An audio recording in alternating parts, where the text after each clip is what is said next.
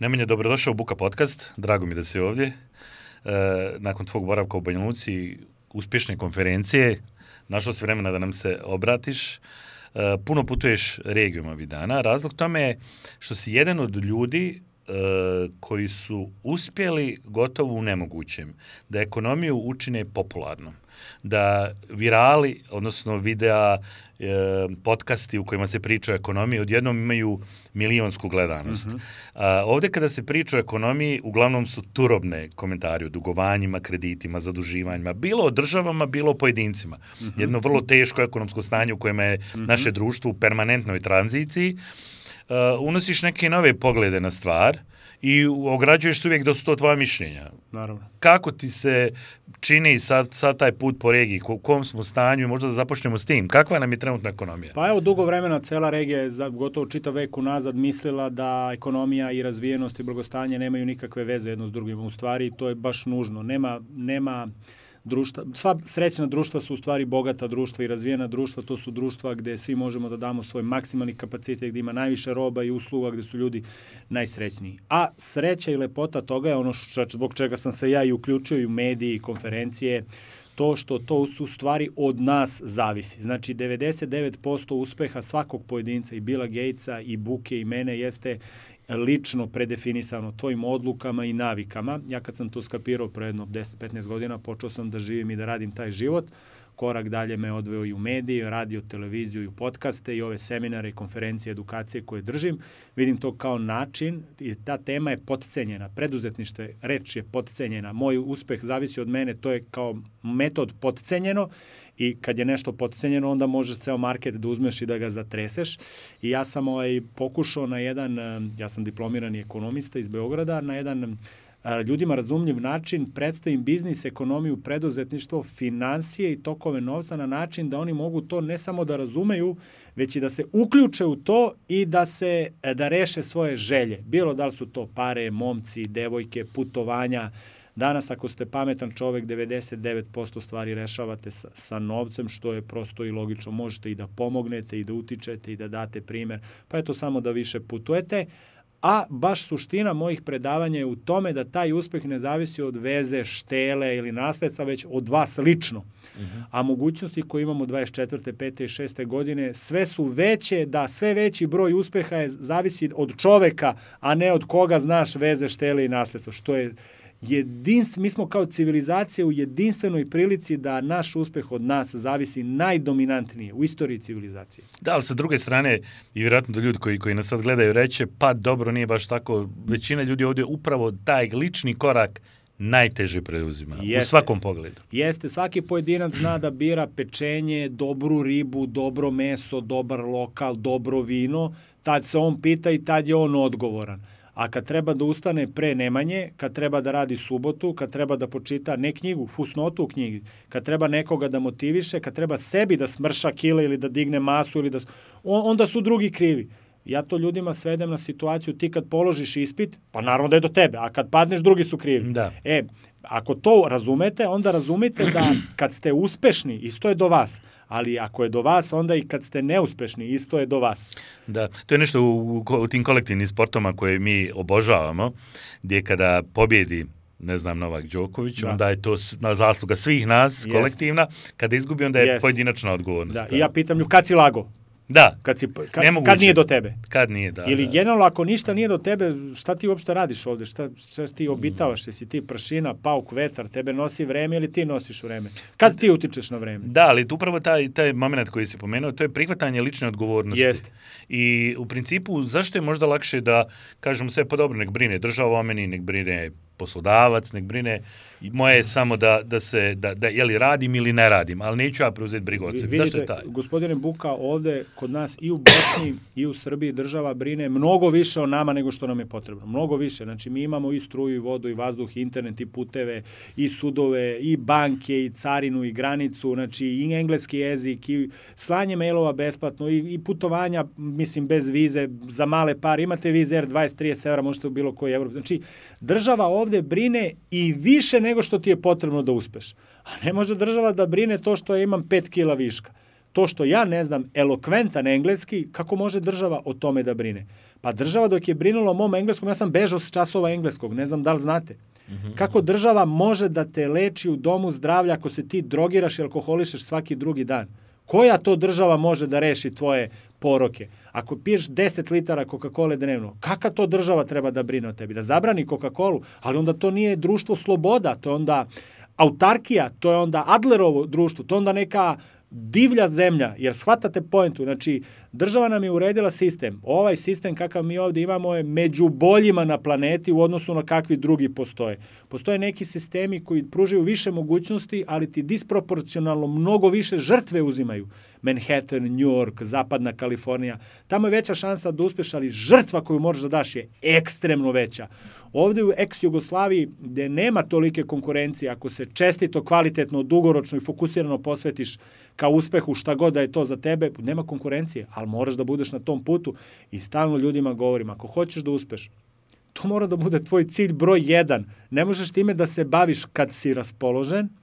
Evo, danas je pljusak ovde, mi smo došli. Znači, ja, ja ne učestvujem u medijima kad sam raspoložen, već kad treba, kad ima posla, kad je to lukrativno. Tako da, 95% odgovornosti prvo moramo da rešimo u nama, pa tek onda da upremo u državu. I sada, sada ćemo opet se vratiti na, na, na publiku, zato kažem, do, veliko je nepovjerenje kada se priča o ovim temama, a i neko će reći, pa da, on to priča, to je teorija, ti u stvari u praksi imaš svoje lične biznise i da sad Jest. nećemo pričati, ni, nije ne, nam namjera o tome, je. ali si upravo primijenio formulu Jest. kako je to izgledalo. Da li smatraš da ovako još uvijek sistema koji se uređuju, koji su u tranziciji, moguće napraviti posao. Pazite, ovo što ja pričam, to, it's vice versa, to baš nije teorija. Mm -hmm. Znači ja sam, ovo je ex post analiza, znači ja sam nešto uradio, mm -hmm. patentirao i sad ti pričam kako to radi. Mm -hmm. Znači baš nije teorija. Da, da. Ovo je pričam ti priču koja je u stvari stvarni događaj. To je gigantska razlika. Ne bi želeo da ljudi pogrešno to razumeju. Uh, ne, zato to i pitam. Da, država ti praktično uopšte ne treba. Ti ako imaš neku dobru ideju, dobar projekat, mobilisat ćeš privatne pare, privatne investitore. Para u svetu je mnogo više nego dobrih ideja i nego nas. Tebi država za razvoj biznisa uopšte i ne treba. Gađaj poslove gde ti treba privatni novac. Evo, vi pokrećete neki biznis projekat, recimo prodaja kokica u Banja Luci. Evo, ja sam investitor Jel ti palo na pamet zašto ja nisam uložio u tvoje kokice, a ja sam u onaj kikiriki? Jel to, to uopšte zanima? Mhm. -huh. Ili ćeš da kažeš nije država? Šta država? Pa država ako uloži u tebe, ona će tražiti i da se pita, ne znam da si ukapirao, uh mhm. -huh. tražit će ti da zaposliš i dva penzionera invalida, tražit će ti da skupljaš potpise. Znači, bolje bi ti bilo da tražiš privatnog ulagača Znači, okanite se priče da treba država da vam pomogne. Ljudi, vi treba državi da pomognete. Ne kao državni činovnici, već kao preduzetnici. Država ako ne smeta, ako ti je dala time frame, okvir neki, neku kakvu takvu bazu, ništa nije savršeno, a to znači ni mi, ni naše ideje, ni naše neke možda mane i vrline, Tako da, ogroman broj ljudi na ovom Balkanu kao nije mu država, ali nema ona šta tu da ti uradi. Ti, evo, tra, ako tražiš pare, Traži od privatnih investitora. To je ono ex-state e, situacija. Nema nikakve veze. Koja je idealna država za ekonomiju? Pa Kad ne, već smo došli već na tu temu. Ja mislim da je baš da su zemlje Jugoslavije close to perfect, zato što one savršeno balansiraju priliku i uh, skoncentrisan fokus da uložiš u priliku. Ti, na primer, možeš, sad ne znam da li će ljudi to razumeti, ovaj, u relativnom smislu ovde je bolji e, kapacitet. To znači u relativnom. U odnosu na koliko se ulažeš, koliko ćeš da uložiš. Ovde je mnogo bolje nego u Americi. U apsolutnom smislu mnogo je bolje u Americi. Milijarderska zemlja, 350 miliona, svi pričaju o biznisu, ali tamo konkurencija 10.000 puta veća.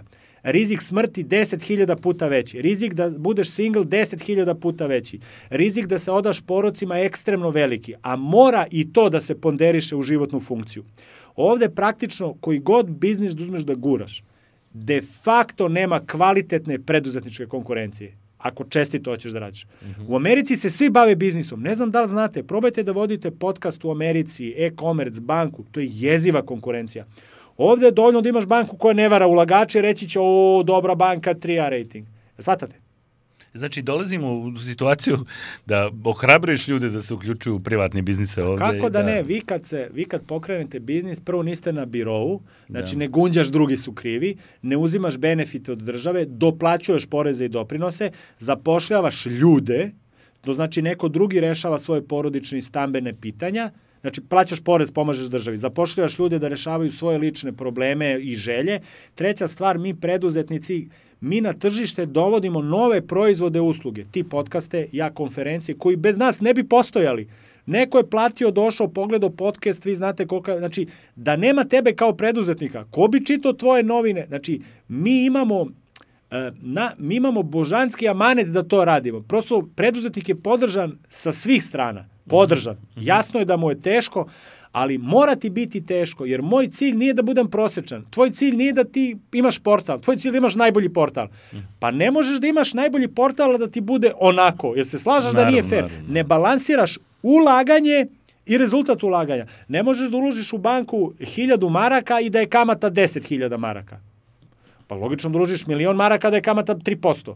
Mm -hmm. Svatate? Znači, Da, sad si došao na jednu uh, temu, u stvari, podsjetio me, gledao sam podcast u kome si učestvovao i u kome si pominjao da ljudi svi očekuju neke velike postotke zarade da. od o, o, inicijalnih ulaganja, Jest. a da se u stvari sve vrti oko par postotaka. Pa evo, za Sr u Srbiji ima 581.000 firmi. Mm -hmm. Prosečna zarada, znači na uzorku od 581.000. Ti ako si neki matematičar, ti znaš da je to skupčina.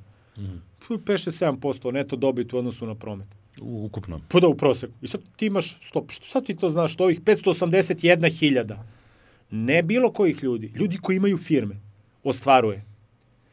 Planet, koji su aktivne, koji rade, da. Koji kad ustanu samo o tome misle. Mm -hmm. Znači, nerealno je da ti imaš 100%, 50%, odnosno moguće, ali vrlo verovatno si preuzeo rizik koji nisi video i se baviš kriminalom.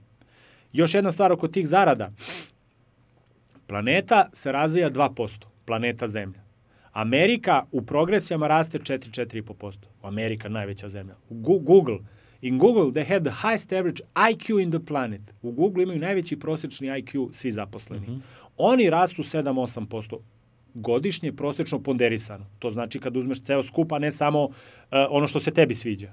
Mm -hmm. Šta ti to znaš pa ti imaš neku foru za 100%? Šta je to promaklo Billu Gatesu, Warrenu Buffettu, ovima u Mensi? Ti znaš foru. Šta ti to znaš da to nama promaklo? Da. Evo ja bih baš volio da te čujem. Da, ovaj, član sam Mense, ali ba, nisam u, u, u, ubacio se u toliko, kažem to zato što si pominjao i zato mi je to jako važno, dijelim to mišljenje da sama inteligencija po sebi ne mora da znači apsolutno ništa. To je kao Porsche, moje neko mišljenje koje ti je neko dao, a sad hoćeš da ga znaš da voziš ili ne, to je neka sasvim druga stvar.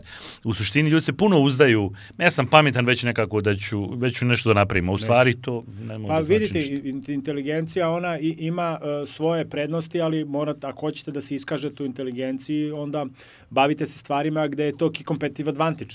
Mm -hmm. Za biznis i uspeh morate da imate ličnost, morate da imate karakter, radne navike, morate da budete empata, ljudi s većim mankom baš nisu de, e, empate. Ljudi što su inteligentni imaju veću stopu depresivnosti, ne mogu da se uklope, imaju veću stopu, slabo se e, cirkulišu s ljudima, niko ih ne razume, onda imaju perverzne ukuse, onda njihov mozak radi na paritetu. Jo, ne znam što sam sad trebao, što sam rekao uopšte, da sam... Nisam završio, da, stavi malo.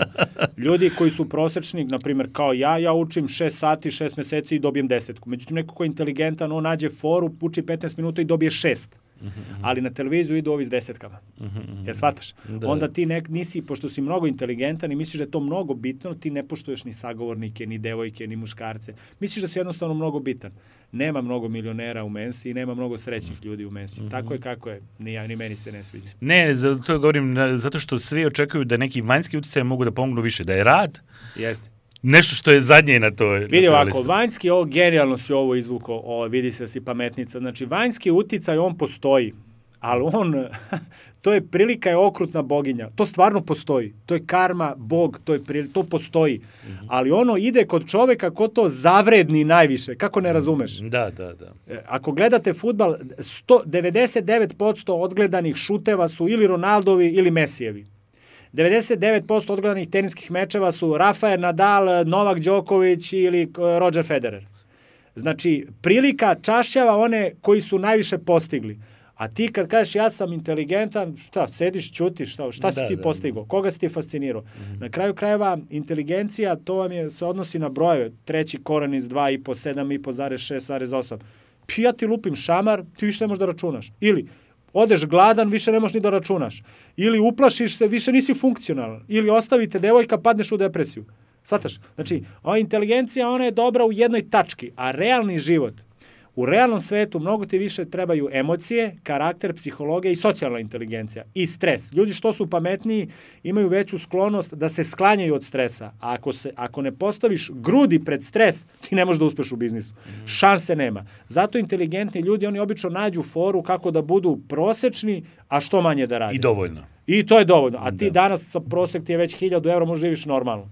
Da. Ali da se profilišeš, on mora kod sebe da izgradi gomilu drugih stvari za koje, koje mu trebaju mu druge veštine. To ti je kao kad si dobar krojač. I stvarno dobar krojač. Ali kažeš sad ću da zaposlim tri krojača. E ti sad već moraš da budeš menadžer. A to da. ne znaš da radiš. Da. Ti kad već moraš da zaposliš prvog čoveka, IQ ti ničemu ne služi. Moraš mm. empatiju da imaš. A diverge, AQ i EQ su divergentni. Da, kada evo pričamo o tim nekim, to je neka formula da imaš sve te sastojke u sebi za, mm. za neki uspjeh. Uh, dosta ljudi i dalje odlazi iz ovih prostora. Ovde nisu uspjeli da naprave ništa odu vani, sad to nije baš uzorak da su svi napravili da, da, nešto se. ekstremno, ali su napravili fenomenalne stvari, fenomenalne stvari vani koje ovde nekako nisu imali priliku i često kažu da su odavde u stvari išli zbog tog nekog otrova u javnom prostoru, da više nisu mogli da istrpe i da sad tamo funkcionišu vani nekom boljem, boljem Pa evo, ja sanjam okruženju. dan kad će se svi vratiti i po dva kad će ovi iz drugih zemalja početi da dolaze ovde iz Poljske, iz Bugarske, iz Rusije, iz Amerike, zašto da ne? Zašto su ljudi otišli vani? Mislim, svako je zbog nečega otišao, ali mislim, glupo je da odeš vani, a da ovde nisi dao sve što je od tebe. Mhm. -huh. Ako si, bato, sve ovde probao, onda mogu da te razumem. Jer ti znaš da taksisti u Beogradu samo duplo manje zarađuju od taksista u Njujorku. Koji hoće da rade? A nimaš ti ljude koji ovdje ne, ne žele ništa da rade, ne žele da rade ljušte krompir, da budu security, ne žele da rade uh, e, DDD poslove, kao videće me neko, dirty, dangerous, difficult, onda odu u York, to rade i kažu ovo je bolje okruženje. Pa druže, da si to radio u Srbiji, u Bosni, isto bi uspeo. Mm -hmm. Ili malo manje, pošto je siromašnije tržište. Dobar deo tih ljudi ovde nije iscrpio maksimum, a dobar deo je otišao za nekim možda prilikama koje tamo postoje, ne znam, razvijena medicina, razvijena tehnologija, AI, nešto što ovde stvarno nema kod nas, ali mm -hmm. takih je jako malo.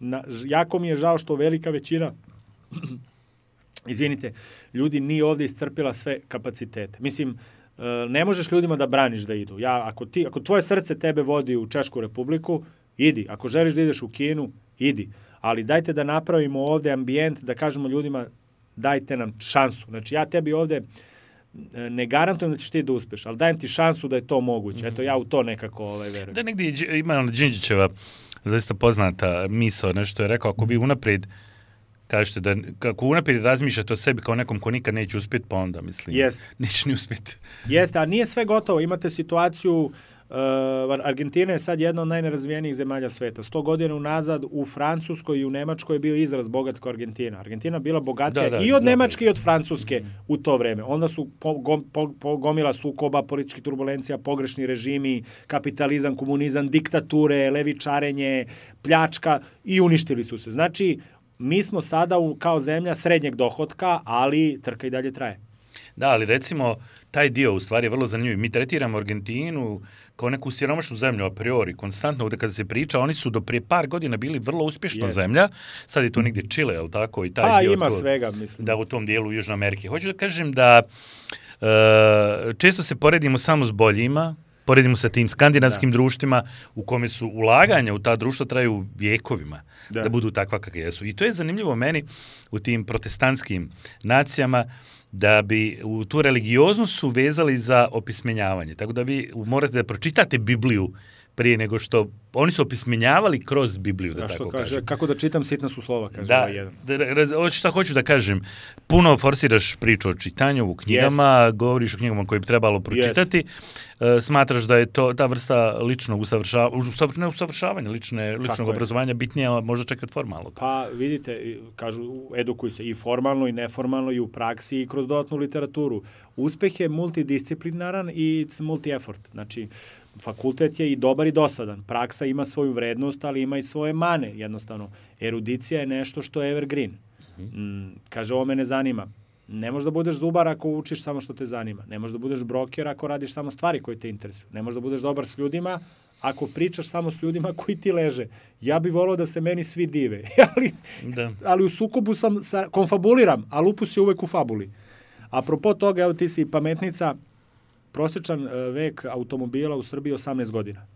Pro, znači, ako je prosek 18, Koji su na cesti? da. E sad ti kad pitaš nekoga ko, kaka se kola, u sve Audi, BMW, sve dobro. Pa takih ima nula, ko- ako je prosek 18 godina. Ovi što su do dve godine, njih i nema više od jednog promila po onom gausu. Jel da me shvataš? To znači ima kola i 20, 30 i 40 godina. Ali ti kad čoveka intervjuišeš, on misli svi voze dobra kola. A u praksi 2-3% ljudi vozi dobra, dobra kola. To je Da. nešto neverovatno. Da, ali kada pričamo o, o, o puno, puno govoriš o tim ulaganjima, li, ne, Aha. pričali smo o knjigama naravno, a, puno pričaš o, o, o investiranjima, o ličnom investiranju i negdje, ako sam dobro shvatio, nisi baš veliki e, fan ulaganja u nekretnine. Pa ne, vidite, prvo... Pošto ovdje svi ulažu viškove u dobro. nekretnine. U redu, to je toliko, znaš. To ti je kao, m, pokaži mi šta vožiš, reću koji si ti ličnost. Mm -hmm. Da ti vidim ženu i decu, znam šta dosta o tebi. Da vidim kako tretiraš kuće, znam kako tretiraš prijatelje. Ulaganje u nekretnine je dobro ako kupuješ prvi stan, drugi stan ili ako imaš decu pa da uzmeš u tom nekom smislu. Mm -hmm. Ali ja nikad nisam merio ulaganje nekretnine sa opcijom da li da uložim u nekretnine ili da ne uložim u nekretnine. Znači ne. Ja kad pričamo o ulaganju u nekretnine, ja zamišljam čovjeka koji ima 5 miliona evra, neki Amerikanac, mm -hmm. koji ulaže u nekretnine i ima opcije da uloži u zlato, u indekse, u obveznice, u biznise. U tom smislu bilo bi dobro da se i diversifikuje i da pogleda gde mu je balans rizika i zarade drugačiji. 100 godina unazad prosečno ponderisano. Zarada na Wall Streetu je 9,5, 8,5%. Prosečno ponderisano u nekretninama je 2-3% kad izračunaš sve što se računa.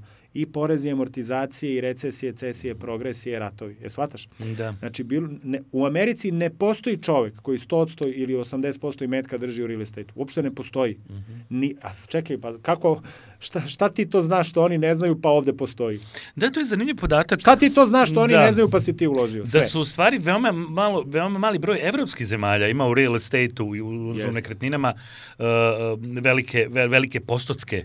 Uh, Jeste, ali izvini, izvini gospodine Buka da vas prekinem. Uh, ulaganje u nekretnine u Americi, ulaganje nekretnine u Balkanu, to uopšte nije isto ulaganje u nekretnine. Amerika je neto useljenička zemlja, pod jedan. Pod dva, to je tenant country, 85% ljudi je na renti i pod tri, zakon je krvoločan prema neplatišama nekretnina. Jel shvataš? Mm -hmm. Kod nas ovde mi smo neto, smanjuje nam se neto populacija i stalno su sukobi neki. Znači, uopšte ne možeš da porediš Ako, smanjuje se populacija, povećava se stanogradnja. Pa, pa to samo znači da, da, je pogre, da postoje bolje investicije.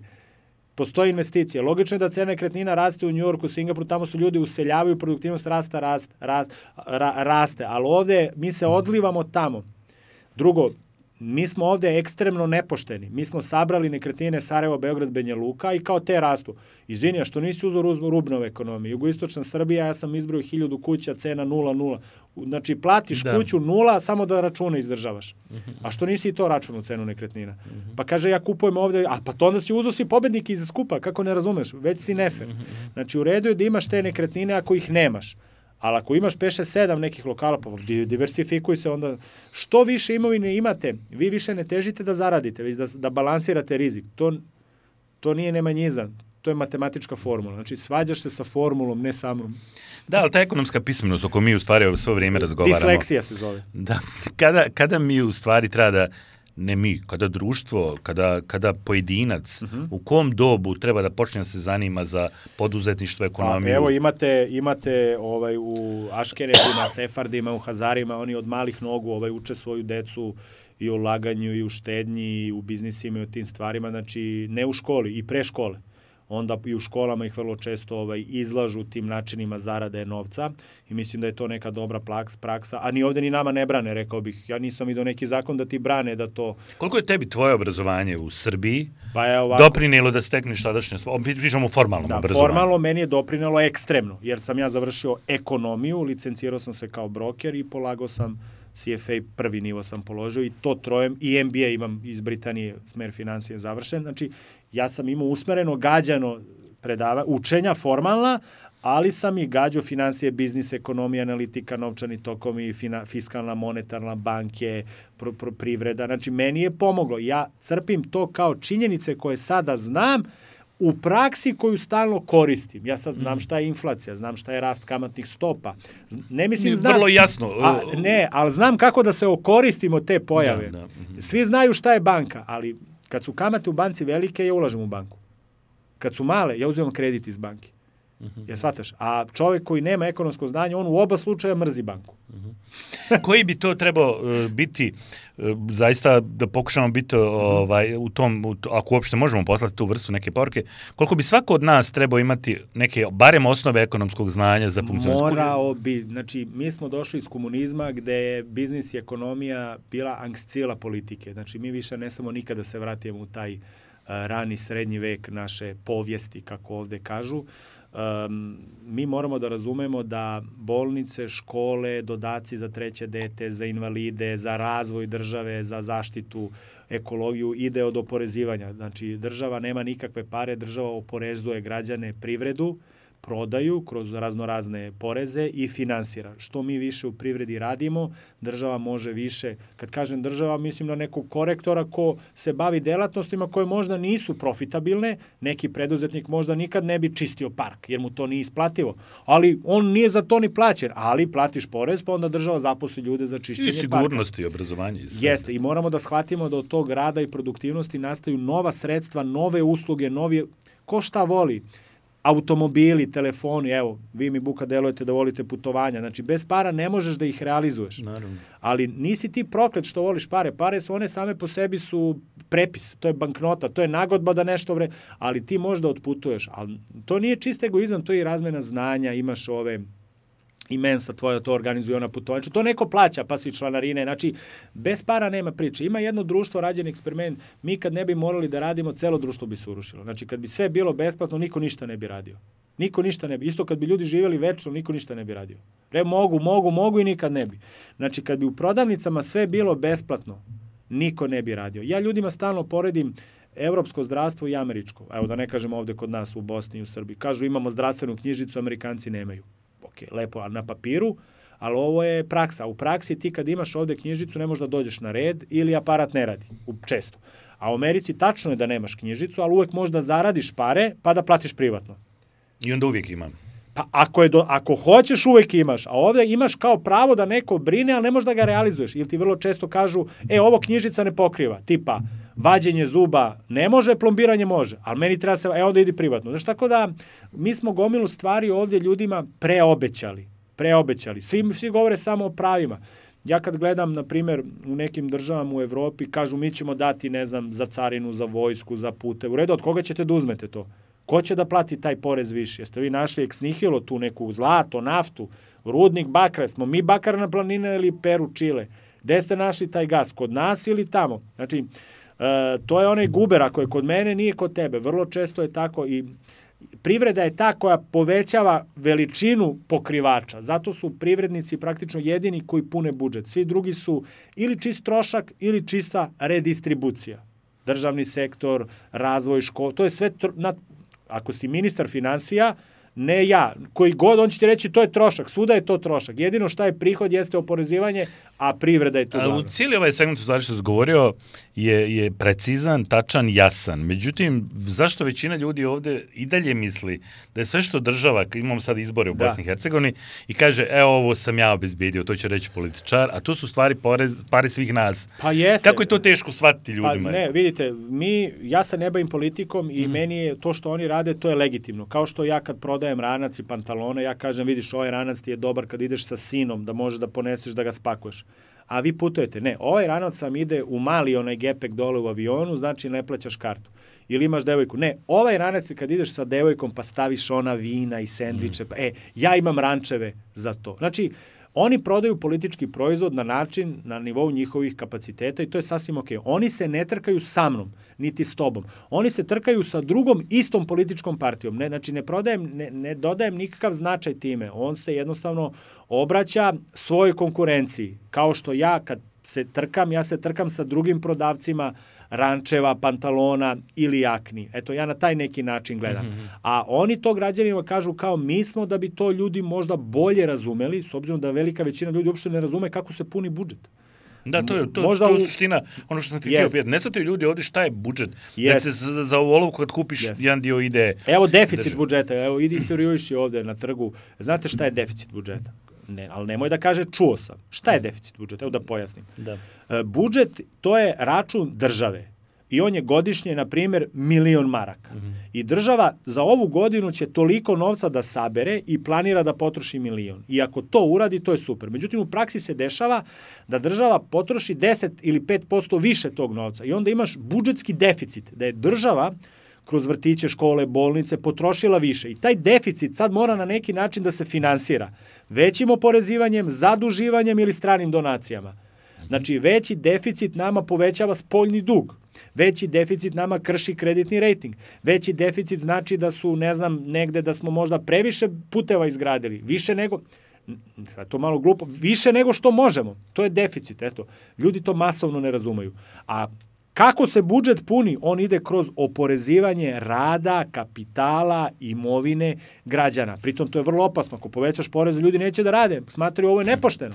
Znači, moraš da budeš mudar da nađeš političku meru, ja mislim da je kod nas to fair, sasvim fair u odnosu na druge zemlje.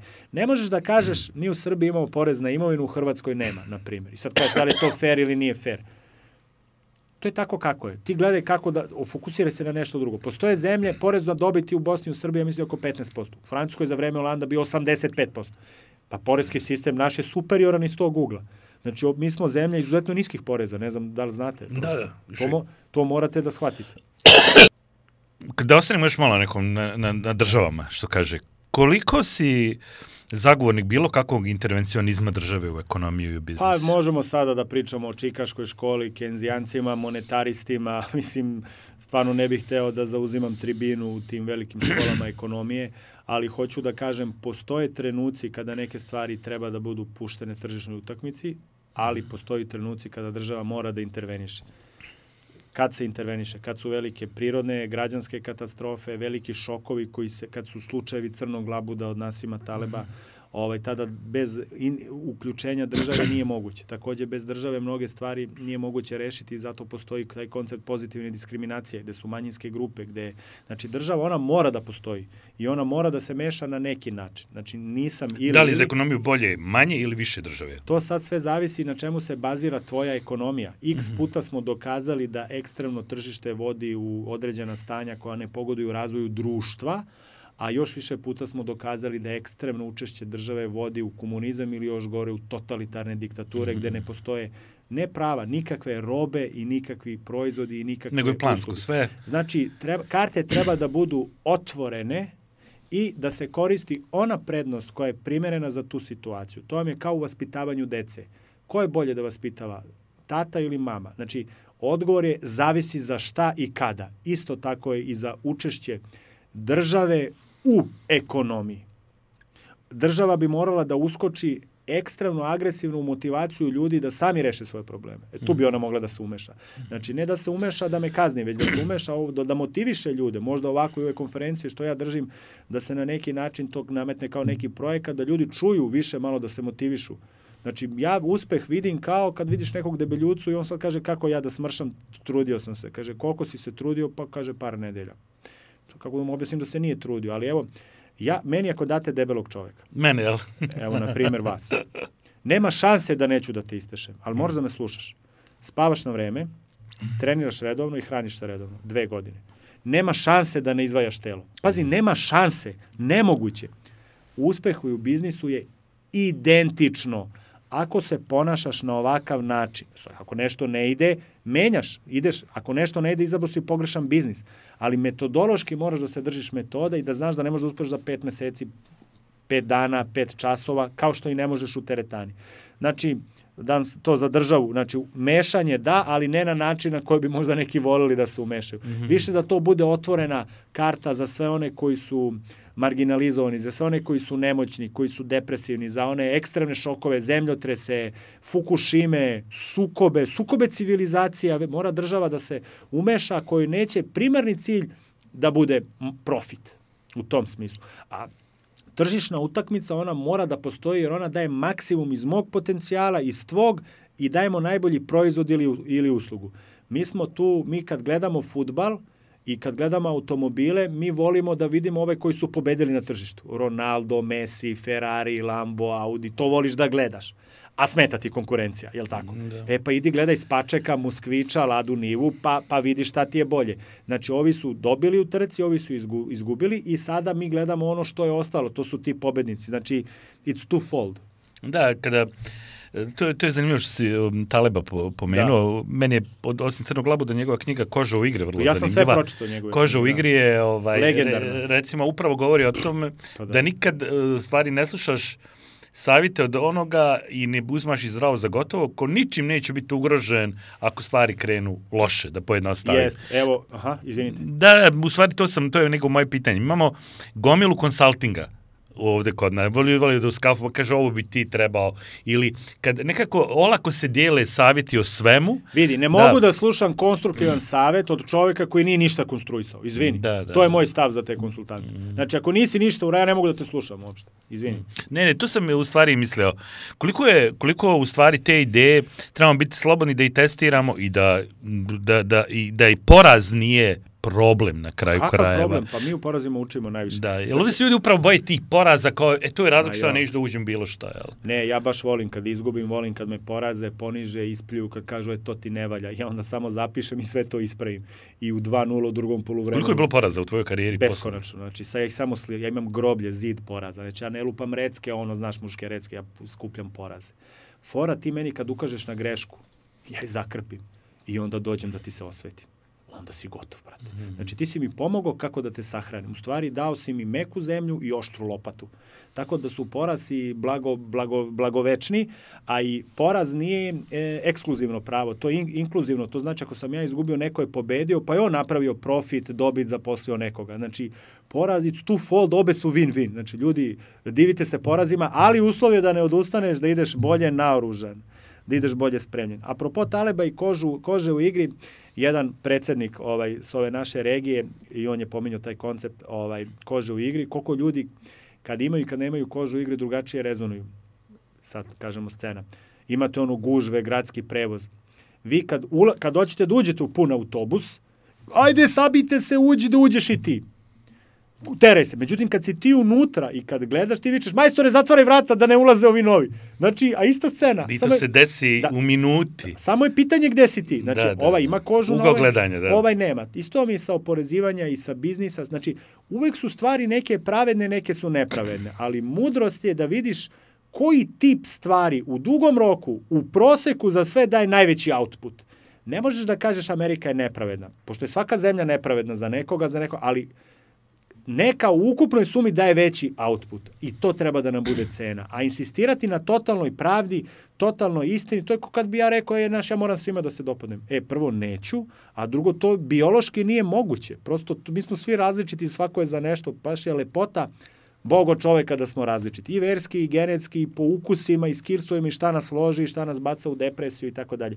Mi kad bismo se, kao ljudi, kao vrsta, kad bismo se, na primjer, svi plašili mraka, padne mrak, nema više ko da otvara vrata. Nema više ko da mhm. pravi pekare. Da, da, da. Znači, mi smo baš zato imamo različite i distraktore i atraktore, da bismo mogli da izvučemo vrstu, državu, porodicu. Sa, uvek je neka, neki skills bitniji. Svatate? Ne, zanimljivo mi je to što pričaš, pošto se ovde sve svodi na podcrtavanje različitosti. Da, i tu, to su naš... To kako su obzerveri, da. A, da, a u suštini različite su naše prednosti i kolektiv. Bravo. Ili tako? E ovako, ja kažem, uh, nađi šta je tvoja veština i napravi biznis oko toga. Slava Bogu, pa smo svi različiti. Ja mm. nikad ne bi mogao da budem programer, nikad ne bi mogao da budem doktor, nikad ne bi mogao da se bavim politikom, nikad ne bi mogao da budem neko ko se bavi emocijama i blagostanjem ljudi. Ja to nikad ne bi mogao, ali postoje stvari gde sam odličan. I poenta je, mudrost je da ja uzem delatnost gde sam ja dobar, to je u mom slučaju javni nastup, matematika, brojevi, prodaja, na primjer, socijalna inkluzija, tu sam dobar.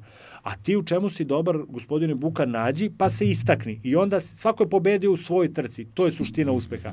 Znači, ne trkamo mi... Gomila tih malih pobjeda čini u stvari kolektivnu pobjedu. Kolektivnu da. pobjedu. A ljudi kažu, ja to on je uspeo u bankarstvu, znaš, ja matematiku nisam voleo, nikad ne bi bio bankar, ali to možda nije zanimanje za tebe, toliko novih zanimanja ima.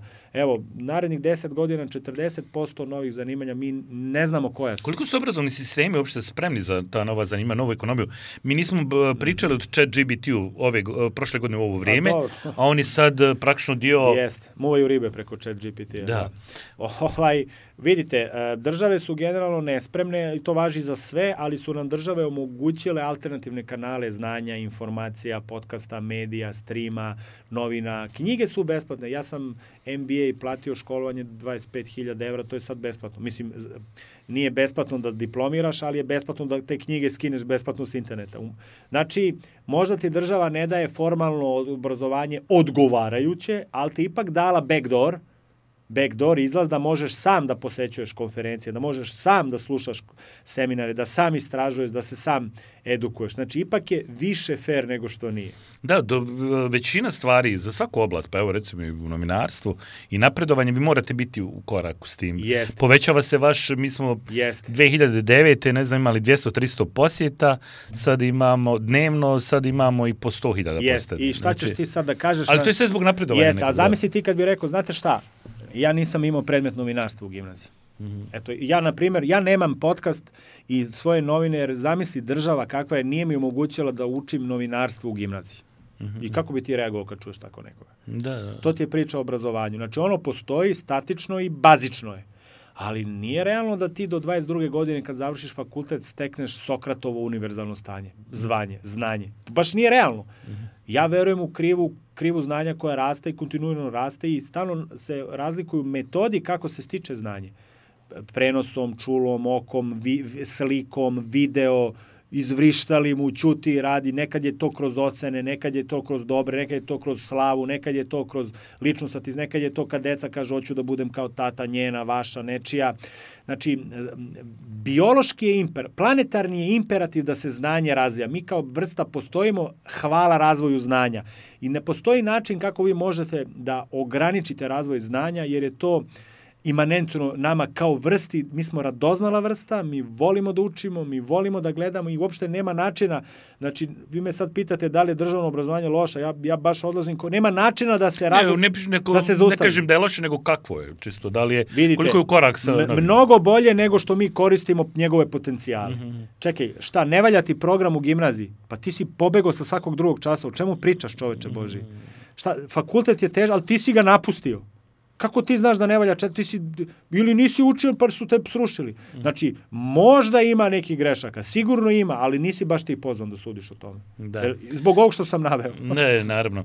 A, kada pričamo o, o, o nekom tom ličnom, neprestanom ličnom usavršavanju, sam krivom, ne znam, pade mi na pamet da je Tarantino, koji je trenutno jedan od najboljih svjetskih režisera, naučio se reži gledajući filmove. Jeste. On je u suštini, to je zanimljiva priča, nije čovjek nikad završio Da. nikakvu, re- ali je pasionirani gledalac filmova, znači On- dnevno po pari gledao i Tako je. došao je negdje na taj nivo.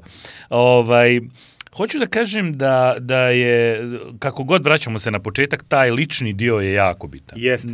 Ključni. I ja sam Bogu toliko zahvalan, ovaj, ne zato što sam neki veliki vernik, već zato što nas je napravio da i za izbor partnera, i za vaspitanje dece, i za izbor profesije, i fakulteta, i to koliko će tebe da uvažavaju, dokle će, da to predominantno sve od tebe zavisi.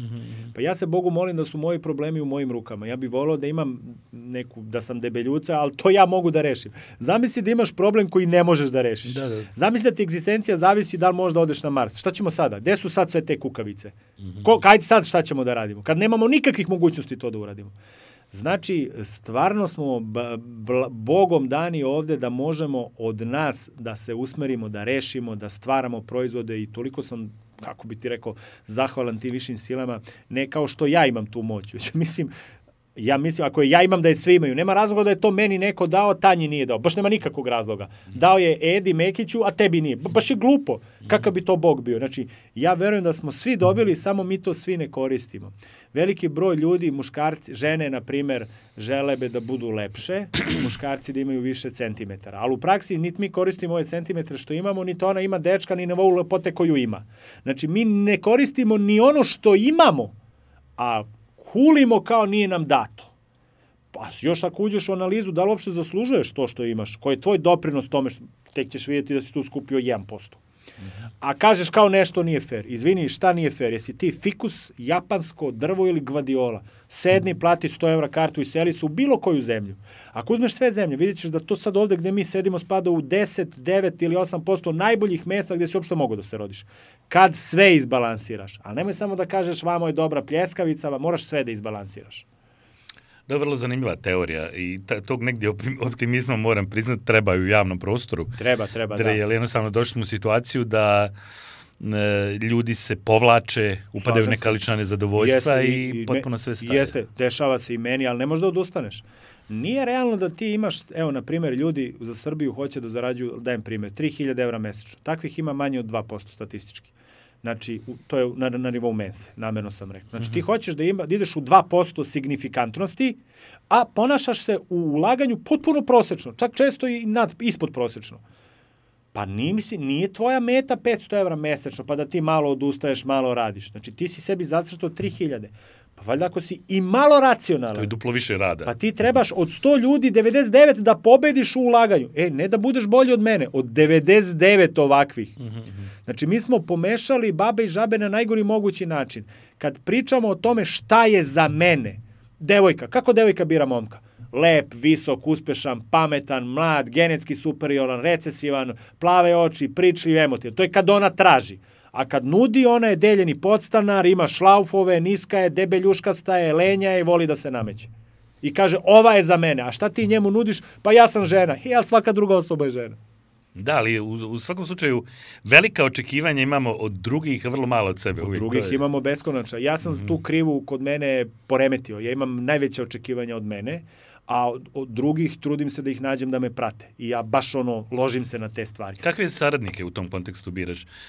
nije lako. Da li su, koliko je, e, mislim da je Nixon je jednom rekao, ako u, u prostoriju u kojoj se mi nalazimo, ako moji savjetnici misle isto kao ja, ne, treba, ne trebaju. Jeste, on je političar i on je morao da ima rešenje problema iz drugog, iz drugog ugla. Kod njega to pije vodu, u nekim drugim... E, koliko u biznisu to pije uopšte? Pa u biznisu zavisi koji je tip biznisa. Generalno trebaju ti ljudi koji... Vi, u biznisu ti mnogo više trebaju ljudi koji su luka like you znači koji ste više podržavaju, zato što obično preduzetnik je onaj koji zna najčešće i onda njemu najčešće on ima i metu i cevku i nišan, fali mu municija, to je najčešće. Ili mi, ili, izvršioci, kako? Najčešće, pa da li su izvršioci, da li neko ko diže, prosto u preduzetništvu uglavnom nije tako. Jer ti ako imaš dve ideje, ne možeš ni na jednu da se fokusiraš. Mm -hmm. Znači sve ovo što je nastalo, neko ima ideju i tražio je uglavnom sledbenike, bankare, ulagače, fi, fi, filozofe da naprave kult od njega, ne da mu se suprostave. O, ako misliš drugačije, super, ali idi svoj drugi, svoj drugi biznis model cepaj. U tom domenu biznis je malo drugačiji, ovaj preduzetnički, jer je mhm. preduzetnik ko ima ideju, on sad okuplja ljude oko te ideje. Njemu ne treba niko da džadžuje ideju. Pratioce. Njemu treba, da. ali nisu to ono to do, to su ljudi, ja sam, na primjer, neko ko može da izračuna profitabilnost i meni ne treba pratilac da mi sabere u petu decimalu, nema veze. Meni treba neko ko će da regrutuje ljude koji će biti dobri za ono sve što dolazi posle, predstavljanje u medijima, u javnosti, kako da budemo mesto gde ljudi žele da rade, a ne samo mesto da se radi 12 sati. Znači, to su ljudi koji su potpuno različiti od mene, ali ne osporavaju inicijalnu ideju. Da li imamo, e, možda da, da, da dođemo sad na, na, na nivo nekog života, mm -hmm. kada pričaš o, o poduzetništvu, o, o ličnom angažmanu, koliko mora čovjek da radi, mislimo na knjiga Four Hour Work Week. Uh, uh, to je davno, zašto ima 15 godina. A tako? Ima, da. Ona je bila u to vrijeme bila kultna. Koliko možeš stvar da malo radiš, a pa. dobro, da li ta formula moguća, evo da te pitam negdje pri kraju ovog razgovora, pa, da u stvari imaš vremena i za život, i za uživanje, i za Bravo. relaksaciju. Čuli ste za Marfijev zakon. Ljudi kad čuju Marfijev zakon kažu, jo, desilo se nešto. Mm meni kad se desi Marfijen zakon u mojoj glavi se desilo nešto što je moglo da se desi. Znači ne vidim nikakvu fascinaciju Marfijen zakonom mm -hmm. jer se to je kao kad bacaš jednu jambi padne ti jedinica. Marfijen zakon. Druže, ali to i moglo da, da se desi. Da, desi da. E, to je priča dilema kratko pametno. Znači, može neko da radi 4 dana 4 sata. Može. Skroz super, ima 100 biznisa, 100 posla. Međutim, ta osoba, ako se poredi sa sobom koja radi 5 sati 4 dana, uspeće manje. Mm -hmm. Ne daj ti Bože da se poredi sa drugom osobom koja radi mnogo dugo, pametno i energično. Nema nikakve šanse. Ako se zapljuneš sada za ovaj telefon, ti radiš 4 sata 4 dana i hoćeš da ga osvojiš, a ja radim 6-12, ti nemaš manje šanse, ti nemaš nikakve šanse. Mm -hmm. To je velika mana. tog sistema. Druga mana je ako radiš 4 sata, 4 dana, kolika je statistička šansa, evo ti se hvališ da si pametan, da ti iščeprkaš u svom lifetime ono za u čemu si ti sve ono best proficiency, koji su ti key competitive advantage. Kako znaš ko je, koji si najbolji ti ako se nisi istraživao 100 godina nego 2,5 godine? Kako znaš da si našao fontanu of mana, zlato? Možda si našao paladijum, možda si našao ugalj, koča, možda si našao krtice, krtičnjake. Kako uopšte znaš da si došao do nečega što je najbolje? Kako znaš da si najdalje došao ako si trčao 4 sata, 4 dana, na primer. Mm -hmm. Tako da ta teorija je rušljiva sa jedno peše sedam strana i jedva čekam da je srušim.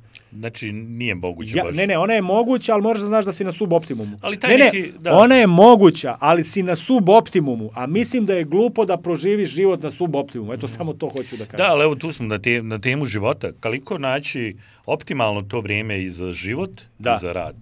Pa ono je moguće, samo je pitanje šta je tvoj optimum. Moj optimum je... Koji je tvoj optimum? Pričamo 2-3 sata dnevno kući, jedan dan nedeljno kući. To je to. To je moj optimum.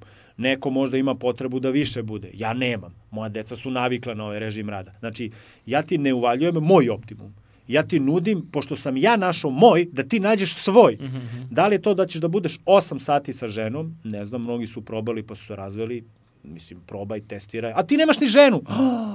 A meni pametuješ, jeli? Kakav mudrac. Znači, svako mora da nađe svoj balans, life, work, balans porodice. Ima ljudi, na primer, koji nemaju ni ženu ni decu, a malo rade, mnogo se provode. Bobo, koreli, egoisti. Ima ljudi koji samo rade, zapostavili su porodicu. Znači, to su sada ekstremi. Da, da. Svako, znači, lično i svako mora svoje. Ovo što ja pričam, to nije e, savet. To je kako ja radim.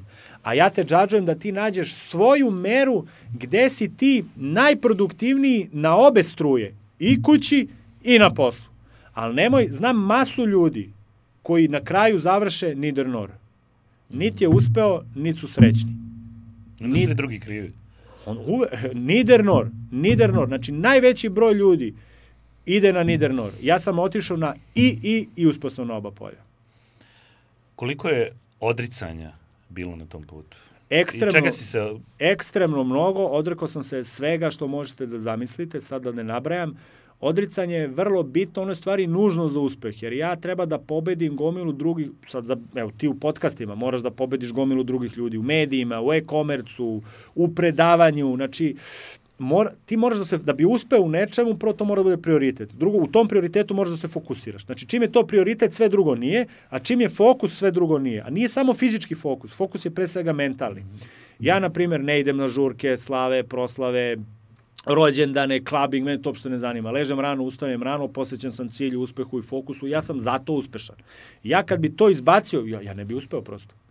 Znači, ja, ja sam bar mnogo toga žrtvovao. Ovaj, I verujem da svako ko žrtvo istu količinu distrakcija u svom životu, napravit će laser-like fokus i uspeće. U tome u čemu on želi da uspe. Ali moraš da se usmeriš, nanišaniš, fokusiraš i podrediš svom cilju. I moraš da iskoristiš veliku većinu svojih kapaciteta svojih kapaciteta koje nemaš. U stvari koje imaš, a nemaš ih u korišćenju. Na primjer, neko je pametan čutljiv, lepa u mraku, inteligentan radi dva sata dnevno, ili ono, lazy bag, ono, remote work. Mnogi su puštili brade, ugojili se, počeli da puše travu jer su kući. Na poslu to niko ne radi. Kad si u firmi, naš svi ono kao sređuju se i muški i ženski, ono neka zdrava konkurencija, zdrava tema. Kući piješ kafu za kafom guaranu za guarano. Znači, konačno sve veći broj Amerika u Americi zabranjuje taj remote work jer im se raspada im se radni kolektiv. Velika. Da, svi se vraćaju. Mislim, Jeste. Amazon ili tako svi se moraju vratiti. Apsolutno, zato što čovek, čovek, ne ti, svako, kad god je u prilici da zloupotrebi sebe i okruženje, on to uvek uradi. Mm -hmm. Znači, jedini način je da ga... Mislim, ako ne mora da radi, neće raditi. Pa to je to. Znači, kad, ali svaki čovek i kad god može. Znači, jedini način je da mu ne daš priliku. Ili da mu smanjiš statističku šansu da zloupotrebi svoju priliku. Mm -hmm. Ne znam da li si jeo slatkiše nekad ili nisi. Nema veze. Ti si ovako jesam. sila od čoveka, verujem da jesi. Uzmimo čoveka koji ne jede slatkiše i stavimo u fioku stalno da ima slatkiše i uzmemo čovjeka koji ne jede slatkiše i da nema slatkiše u stanu. I meri na hiljadu slučajeva onih i ovih kolika je e, ova negativna referenca da se vrati slatkišima. Da, kad je dostupno. Hiljadu puta je veća ako mu je to u ormaru. Na do... Da. Kod ljudi, pazi, to je kod ljudi koji su zakleti da neće da jedu. Mm -hmm. Znači on kad god je u prilici, ne on, tak, i ja sam takav, Ali ja, pošto znam, ja, ja sad onda hakujem sebe, onda ja pobacam te slatkiše i zaključam, ne držim, nemam ništa i onda smanjujem sebi šansu Eto, to je, zato trebate da se defokusirate. To se zove ta i digitalna dijeta i detoks dijeta. Uopšte ne samo u jelu i u mislima. Naš najveći resurs je naš mozak, ono o čemu mi razmišljamo. On je toliko moćan ti u autobusu kad ne platiš kartu od pola marke. Tih 10 minuta do sledeće stanice, o čemu razmišlja tvoj IQ veliki? Hoće, hoće uđe, hoće neće. Pa čekaj, pa to i, i, pa, i krtica može o tome da razmišlja. Zašto si ti pametan da 10 minuta razmišljaš te, ne te, ima struje, nema, hoće uđe, neće uđe, jao šta će reći. Čovječek, platio si sebi 50 centi si uštedo, da budeš budala 10 sekundi. 10 minuta, to vredi toliko. Da, da. A u praksi kad platiš kartu, ti kažeš u redu, sad sam to rešio, sad razmišljam. Oslobodio sam mozak. Da, i on nešto drugo radi. Pazi, ali to je tvoj mozak. I ta, a ti kažeš, jao da sam pametniji, ali ni to što imaš ne koristiš kako treba. Koliko si to s tim u vezi sa socijalnim mrežama, lično? Pa ja socijalne... Da li su one gubljenje vremena? Pa evo, mislim, za najveći broj ljudi, nažalost, jesu. Ja imam ih, koristim ih, ali kod mene su sve socijalne mreže poslovne. I ove firmene i ove moje lične ja to gledam kao biznis. Znači ja imam mali broj ljudi koje ja pratim i te što pratim me, mislim, ne zanima me ni šta rade, ni šta kače, prosto ja sam takav tip. Ja ne scrollujem ono, ne gledam, ne zanimam se time, ali provodim dosta sati na mrežama, ali to je moj posao. A što možda mi i nije za zameriti, ali što ovi kojima to nije posao provode toliko. Tako da socijalne mreže su Vavilon, kao New York, Manhattan, znači prilika i neprilika. Sad ti vidi gde ćeš da se uklopiš. Svi koji više od dva sata dnevno provode, mislim da a kome to nije posao, mislim da im to, da im to traći, ovaj, traći život. Ja primam ordere, do, dobijam kupce, konferencije, ja, ja moram da budem na njima, ja se time bavim. Ali zašto neko ko ima neku drugu profesiju provodi 8-10 sati? I još kad vidiš kako gledaju, u redu, kaže, gledam zanimljive stvari, ali, ali ti ne možeš da upratiš mentalno ovo što listaš. Ili najbolje kad ga pitaš, u redu, bio si danas dva sata na mrežama, to mi je omiljeni test. Možda mi prepričaš šta, šta se desilo u ta dva sata. Evo, prepričaj bio sam dva sata sam bio tu. U redu, samo Što je ogromno vrijeme, realno. Dva sata čoveče, boži, možda se... Spa... Evo, samo mi reci šta si ti to čuo, video, saznao. Ja bih volao da mi prepriču. Neće moći ti prepriču 3 sekunde. Ne, ne, ničega se neće sesti. On se samo hipnotisao, samo kastrirao se. Nadam se da ovaj razgovor onima koji će nas gledati, koji da. nas gledaju, ne, neće biti gubljenje vremena. Meni nije bilo. Fino smo se ispričali. Brzo pričaš, brzo razmišljaš uh, i vrlo, vrlo si zahvalan tom segmentu kao gost. Hvala. Jeste. E, izvini, samo ako mogu da dodam, ne bi volio da kažu ljudi ovaj, lako je njemu, brzo pričam, tako je, vežbo sam i mnogo sam načitan i vežbam pričanje brzo mislim, imamo ogroman fond reči, to je zato što čitamo mnogo literature. Znači, Koje knjige? Pa, čitam, Preporuči pet, molim te, za kraj. Pet knjiga, evo, Nemanja Antić, Biznis, uh, biznis motivacija, 101 stav, to je prva knjiga. Druga knjiga, Amazon The Everything Store, možete vidjeti kako je nastao Amazon. Treća knjiga, Warren Buffett i Benjamin Graham, Intelligent Investor.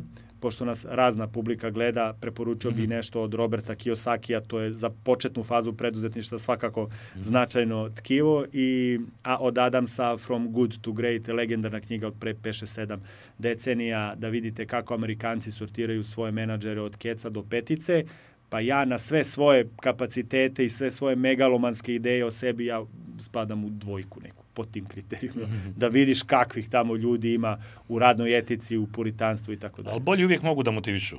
Tako, tako je. Pa, tako trebamo gledati. Ako, ako da. zdravo razmišljamo o mozgu, Upravo tako, bolji su uvijek izazov. Hvala ti puno na ovom razgovoru. Hvala vama.